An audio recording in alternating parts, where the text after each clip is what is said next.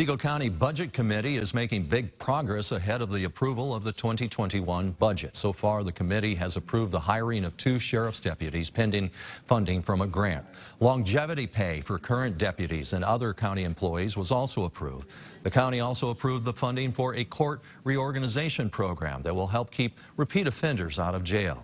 Officials say Vigo County's revenue has taken a hit this year, but there's still enough to get things done. I think in the state we're, we're financially solid. Um, we're going to be hurt financially by some of these revenues going down, but um, we're, we're going to weather it very well. The County Council will vote on the budget on October 1st. The budget will be finalized at that time.